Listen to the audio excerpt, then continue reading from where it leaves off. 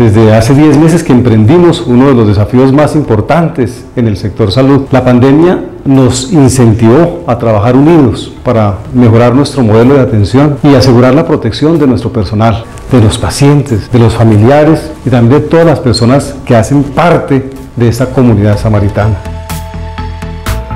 Nuestro hospital maneja todos los niveles de atención. Los primeros niveles de atención están en San Cayetano, en Cogua, donde tenemos dos centros de salud, uno en cada municipio. En Zipaquirá tenemos nuestro hospital funcional que maneja el primero y el segundo nivel.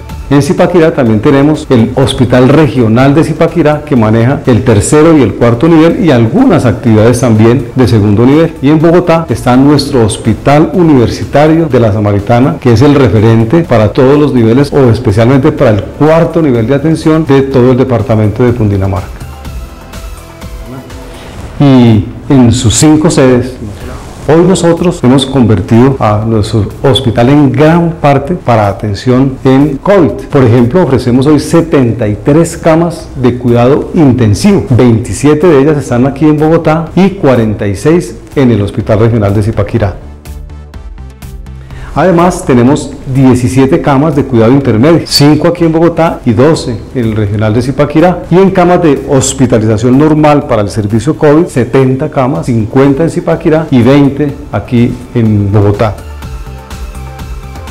Además que en los servicios de urgencias, en todos los sitios, tenemos áreas específicas para la atención de pacientes COVID y, y áreas también específicas para los pacientes no COVID, completamente diferenciados, que eso es muy importante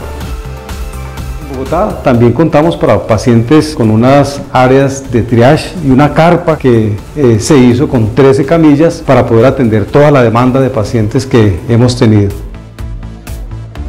Bueno, los retos más importantes es seguir capacitando a todo nuestro equipo de trabajo, adecuar todos esos espacios físicos para garantizar una atención de alta calidad y con muchísima humanización en la prestación de ese servicio. Ahora tenemos un gran reto importante donde tenemos que capacitar a la gente en vacunación. Entonces todas las personas debemos saber de vacunación para orientar también a la gente a que se vacune nuestro hospital ha tenido grandes benefactores y para la época de la pandemia el principal ha sido nuestro gobernador de Cundinamarca, el doctor Nicolás García. A través del Ministerio de Salud y la Presidencia hemos tenido también donaciones importantes de equipo biomédico. Constantemente nos han enviado elementos de protección personal para todos nuestros compañeros de trabajo.